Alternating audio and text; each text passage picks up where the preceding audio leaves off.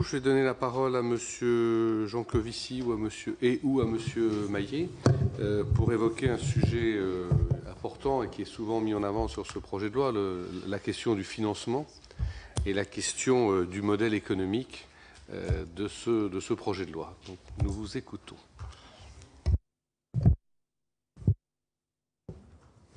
Tout arrive. Euh, merci beaucoup. Euh, alors, nous, on est ici presque par accident. Euh, on est très content d'être ici, mais on est ici presque par accident, parce que The Shift Project a vocation à s'adresser avant tout au monde économique. à la différence de mes collègues qui sont ici, on n'a pas vocation à s'adresser en premier au monde politique et on n'a pas vocation à s'adresser non plus en premier aux Français. la raison pour laquelle le nom est anglais, c'est qu'on a vocation aussi à parler beaucoup au niveau européen. Euh, tout à l'heure, il a été évoqué euh, la partie descendre vers le bas, c'est-à-dire ce qui se passe à l'échelon régional. Il faut aussi un tout petit peu s'intéresser à monter vers le haut, c'est-à-dire ce qui se passe à l'échelon européen.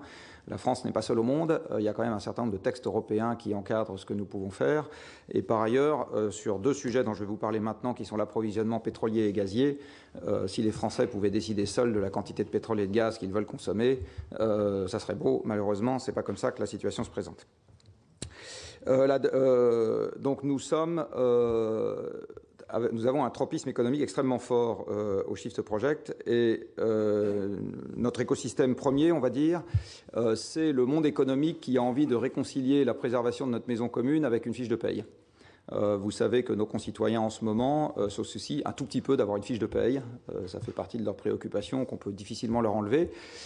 et dans tous les sondages, ils vous expliquent que l'environnement, ils aiment beaucoup ça, sauf qu'une fois qu'ils votent avec leurs pieds, ils vont aller faire autre chose. Et c'est normal, encore une fois, le monde économique a une importance centrale, qu'on le souhaite ou qu'on ne le souhaite pas, est malheureusement un, débat un peu derrière nous, dans les démocraties.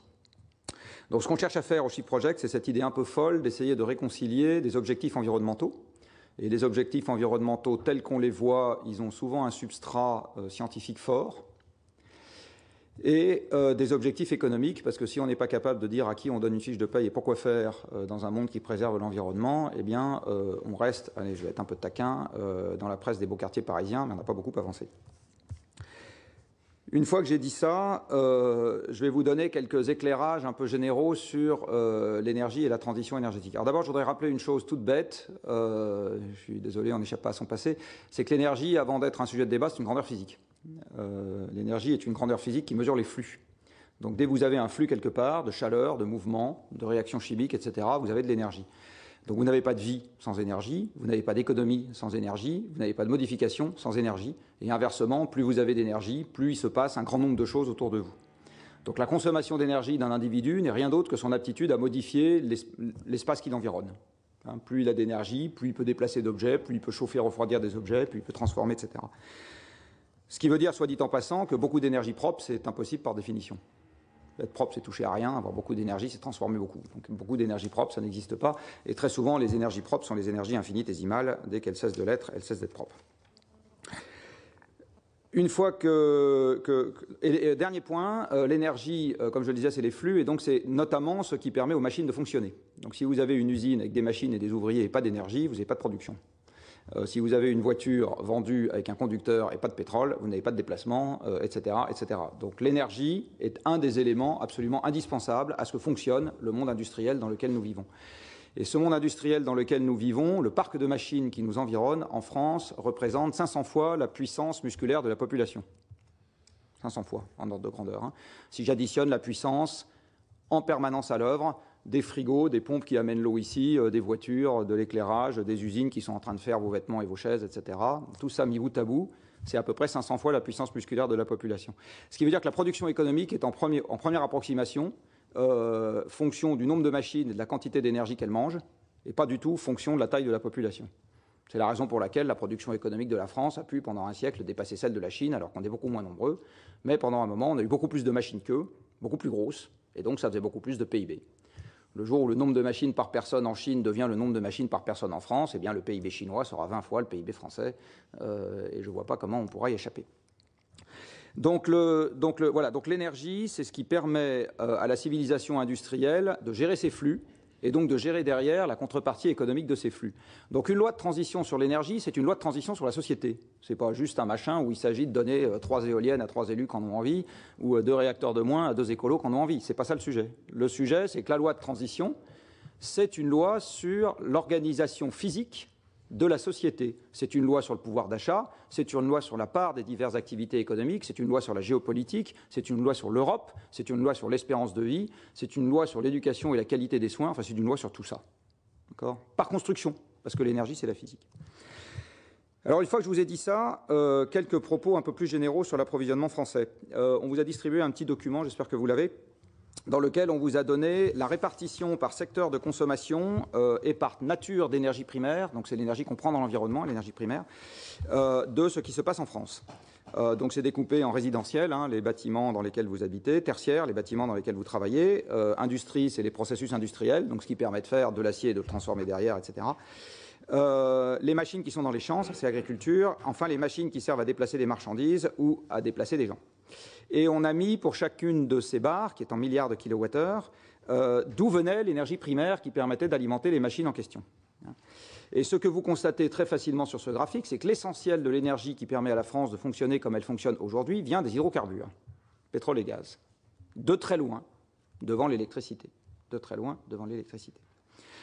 Si je regarde euh, d'où vient euh, la, matière qui permet à l'énergie d'être disponible en France, eh bien, vous voyez que sur la partie énergie finale, vous voyez 45% c'est du pétrole qui n'est pas produit en France, 25% c'est du gaz qui n'est pas produit en France, vient derrière le nucléaire, l'uranium n'est pas non plus produit en France, mais alors que nos importations de pétrole et de gaz nous coûtent actuellement, euh, alors le pétrole vient de baisser, donc l'année dernière, euh, nous a coûté 70 milliards d'euros, l'uranium nous en coûte 1, donc certes, on l'importe, mais enfin, les ordres de grandeur ne sont pas exactement les mêmes. Même le charbon nous coûte plus cher que l'uranium.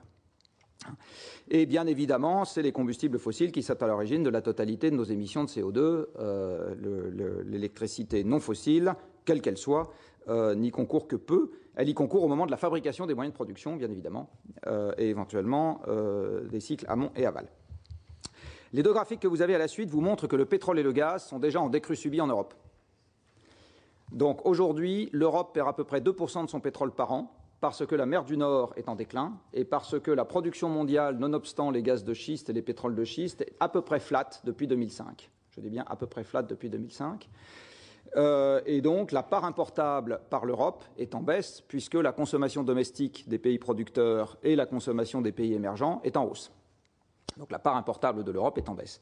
Donc que l'automobiliste français en ait envie ou pas, pour le moment, la quantité de carburant qui rentre en Europe baisse de 2% par an, en gros.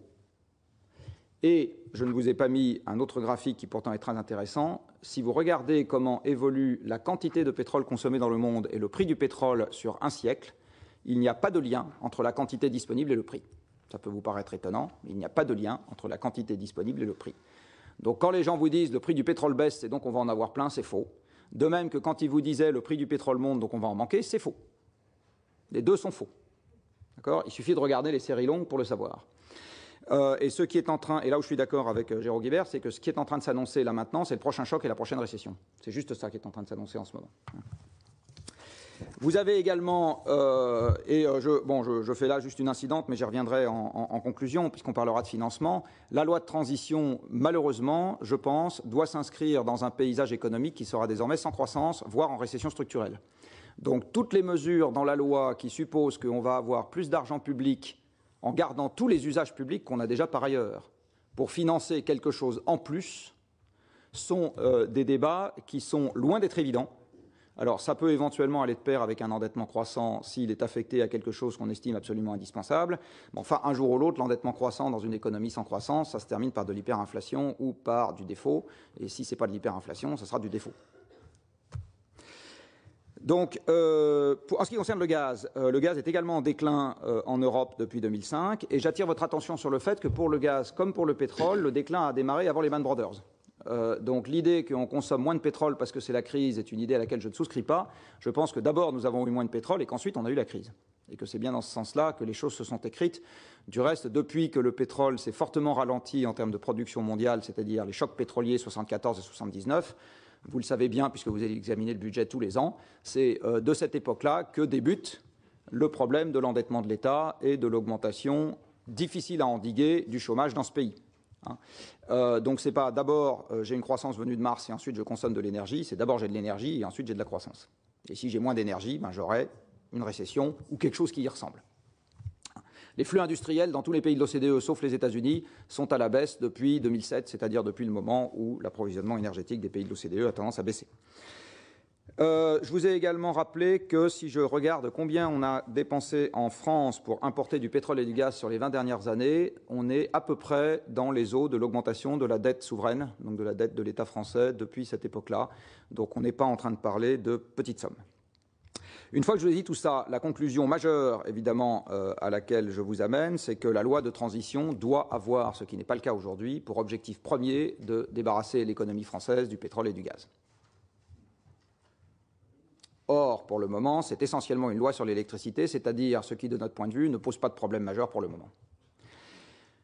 Euh, pourquoi est-ce qu'on en est arrivé là? Euh, Je ne vais pas vous apprendre votre métier. Vous savez très bien que les grands objectifs de campagne ne correspondent pas nécessairement à l'application de la règle de 3.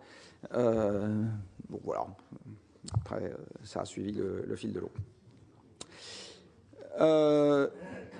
dans cette affaire, qu'est-ce qu'on propose? Donc, on propose de décarboner l'économie. Alors décarboner l'économie va se faire pour une très large part par des économies et euh, pour une part euh, non négligeable euh, par du changement de mix. mais nous, du Shift, on n'est pas du tout pour qu'on baisse le nucléaire. On pense que ce n'est pas la priorité, loin s'en faut, dans le contexte actuel. Je laisserai, après mon intervention, Brice revenir sur ce qu'on propose de plus précis sur la rénovation thermique du logement. je vais vous donner la philosophie générale de, ce qu'on propose. La première chose dans notre philosophie générale, c'est que nous sommes désormais dans une course contre la montre.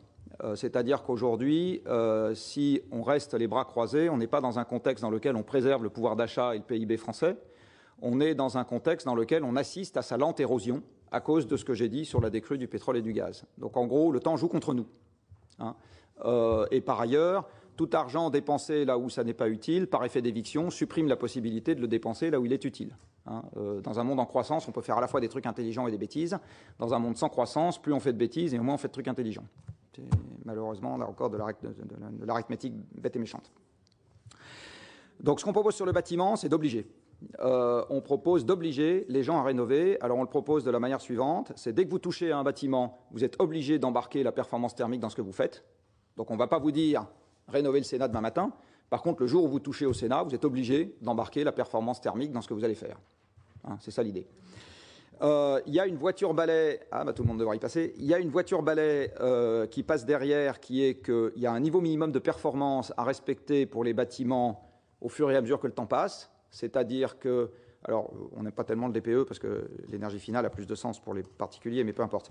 Euh, euh, ça revient à dire qu'en 2022, il n'y a plus aucun bâtiment classe G qui circule, et puis en 2025, il n'y en a plus aucun classe F, et puis etc. C'est ça l'idée. Hein. Donc, il y a une espèce de, voiture balai.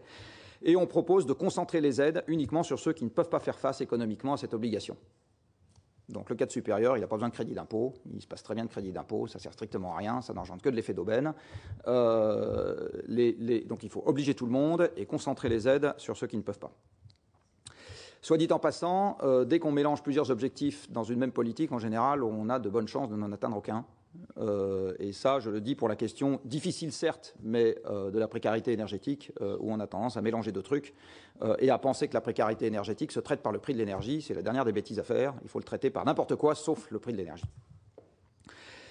Pas moi qui dis ça, ça date d'il y a 25 ou 30 ans. Sur le tertiaire public, on a poussé très fort un projet qui se retrouvait, soit dit en passant, en très bonne place dans les propositions faites par la France à la Commission européenne dans le cadre du plan Juncker donc SFTE, qui a été fait initié avec la FNH. Euh, et euh, qui, en gros, vise à profiter, je ne vais pas rentrer dans les détails aujourd'hui, mais vise à profiter d'un mécanisme qui a été mis en place pour, entre guillemets, le sauvetage des banques à la suite de la crise de Lehman Brothers, la SFEF. Euh, ça vise à reproduire le même genre de mécanisme pour faire intervenir de la garantie publique non consolidée dans Maastricht pour avoir la possibilité d'avoir des financements à des taux très très bas pour la rénovation du tertiaire public, qui a l'énorme avantage d'offrir de très grosses surfaces d'un seul tenant et donc de, permettre de, mettre en branle les gros acteurs du bâtiment qui sont par construction ceux qui peuvent se lancer en premier euh, sur un marché un peu neuf.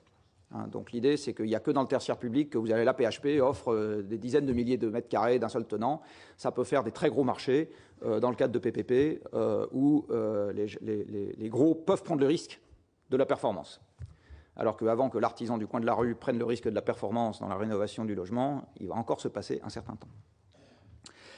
La deuxième chose qu'on pousse, donc je, laisserai euh, Brice revenir sur la partie logement, euh, c'est de décarboner les transports. Décarboner les transports se fait de deux manières, enfin de trois manières. Euh, alors je vais faire beaucoup de peine à Louis Nègre. Je pense que l'électricité, c'est la troisième et la dernière, voire la quatrième et la dernière. les, trois choses qu'il faut faire avant, c'est Juste pour vous donner une idée, les déplacements en voiture, c'est un tiers domicile-travail, un tiers mobilité du quotidien hors domicile-travail, un tiers longue distance. En gros. Là-dedans, le plus essentiel à la stabilité sociale du pays, c'est le déplacement domicile-travail. Si les gens ne peuvent pas aller au travail, on a quand même un petit souci. Pour ça, il faut massifier en faisant des réseaux de bus express autour des grandes villes. C'est ce qui, en termes de capital investi, est le plus efficace et de très loin. Et c'est ce qui permet d'utiliser la route, la route pardon, qui est une infrastructure déjà là. Si vous regardez la consommation en capital qui est nécessaire pour passer la voiture sur le RER, e euh, nous serons tous morts dans cette salle quand on n'y sera pas encore. Euh, donc il faut euh, passer sur le bus il faut descendre très très vite la consommation euh, des voitures en circulation. Et ça, ça veut dire qu'il faut forcer par la réglementation un maximum de consommation des véhicules neufs vendus et simultanément euh, remettre en place la vignette. Donc en gros, si les gens qui ont de l'argent ont toujours envie de rouler dans une voiture qui consomme beaucoup, grand bien à leur face, mais il faut qu'il y ait une taxe annuelle à la détention euh, qui monte très vite.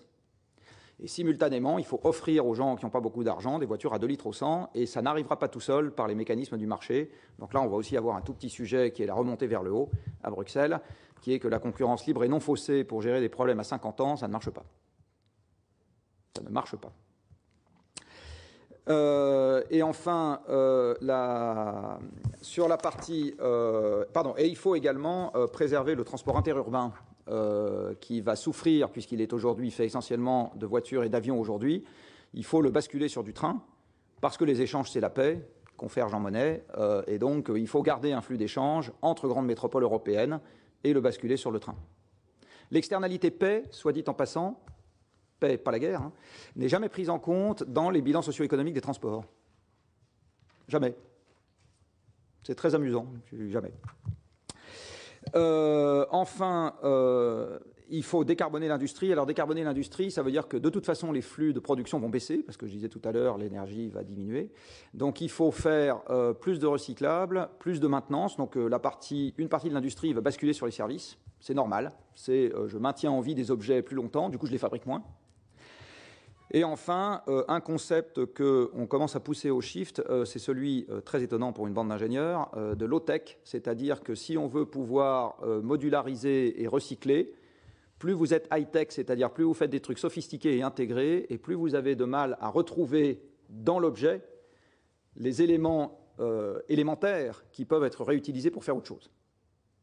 Donc le grand paradoxe de cette affaire, c'est qu'une partie de la solution peut être high-tech, mais une partie aussi et justement euh, low-tech. Euh, voilà, donc je vous ai donné encore une fois, moi je n'ai pas discuté euh, les articles pris un par un, par contre je vous donne un paysage un peu large qui est celui de l'esprit général de la loi. Et malheureusement, aujourd'hui, je considère que l'esprit général de la loi ne répond absolument pas aux urgences du pays. on est en train de s'offrir un débat qui est un luxe dont nous n'avons pas les moyens. Je laisse. Alors, Monsieur Maillet, vraiment rapidement, parce que le, temps passe, qu'il reste encore euh, à écouter euh, Terra Nova, et qu'après, on a, on a beaucoup de questions déjà qui, qui se sont manifestées. Donc, vraiment, très très rapidement, Monsieur Maillet, s'il vous plaît. Merci, Monsieur le Président. Euh, je euh, donc euh, vous propose de donner quelques remarques pour limiter mon temps de parole.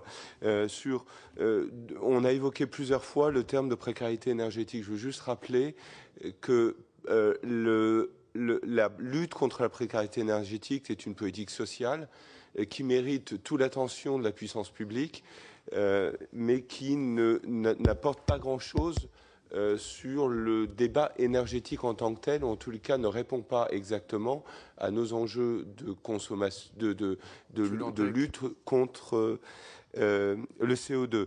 Euh, pourquoi? Parce que les, ménages qui sont en précarité énergétique sont en très forte restriction, et donc les gains qui sont opérés sont des gains de confort. Je pense que beaucoup d'entre vous autour de, la, autour de la table le savent, mais je veux juste rappeler encore une fois qu'il euh, y a souvent confusion entre lutte contre la précarité énergétique, c'est une politique sociale, encore une fois qui mérite euh, euh, toute l'attention, mais ça n'est pas une politique énergétique en tant que telle pour les besoins de, de, de CO2. Le deuxième point, c'est sur le carnet numérique. Euh, on avait fait, nous, une proposition il y a plus d'un an maintenant, qui avait été reprise. Euh, nous n'étions pas exactement les seuls, mais cette proposition de passeport efficacité énergétique ou rénovation thermique pour accompagner euh, sur la durée les logements avait été reprise par le, Premier ministre de l'époque, Jean-Marc Ayrault, et ensuite évoqué dans différentes instances. Aujourd'hui, dans la loi, il y a le terme de carnet numérique euh, d'entretien, euh, suivi d'entretien. Euh, tout ça participe exactement du même concept. C'est une bonne chose. Je veux juste attirer votre attention sur le fait que sur le terrain, les acteurs professionnels de la filière euh, et même euh, les collectivités sont un petit peu perdus sur l'ensemble des termes qui sont euh, utilisés. on parle de carte vitale pour le plan bâtiment durable, de passeport pour ce qui nous concerne et d'autres, acteurs de la filière, de carnet numérique ici, de carnet d'entretien par ailleurs pour les copropriétés, dispositifs qui existent déjà. Et donc, un moment, il faudra, à mon avis, que les acteurs euh, de l'État, les acteurs publics, euh, pour une lisibilité de la politique sur le terrain, rassemblent un peu la terminologie et, concentrent un peu la communication vers un dispositif que tout le monde comprend et qui est un peu généralisé. Donc que ce soit un terme ou un autre, peu importe, il faut euh, que, on y vienne. Deuxième point, et peut-être je, terminerai sur, ce, sur cet aspect-là. Euh, au niveau, euh, il y a des, des, objectifs qui sont fixés dans la loi, certains ambitieux, le cadre général est défini. il n'en reste pas moins vrai qu'une bonne partie du succès euh, de cette loi, en fait, n'est pas dans la loi en tant que telle aujourd'hui, mais euh, dans euh, les décrets d'application et l'ensemble des dispositions qui vont sortir après. Et je veux juste attirer l'attention sur l'un d'entre eux, c'est ce qui concerne les niveaux de performance énergétique pour ce qui est de la réglementation thermique de l'existant. qui n'est pas évoqué dans le texte, mais, mais qui est en fait déterminant pour euh, euh, le gain de performance des logements dans les années qui viennent, puisque vous savez bien que pour ce qui l'enjeu n'est pas dans les bâtiments neufs qui sont déjà soumis à la RT 2012, et ça n'est pas non plus sur les très grosses rénovations qui sont très peu nombreuses, mais c'est vraiment l'enjeu réside dans le diffus et essentiellement la maison individuelle pour ce qui est du résidentiel. C'est là que ça se joue. Et encore une fois, ce sont les critères de performance qui seront dans cette RTX. Pardonnez-moi, c'est un peu technique, mais c'est ça qui va déterminer en grande partie la trajectoire euh, pour le résidentiel euh, euh, privé. Merci. Merci beaucoup.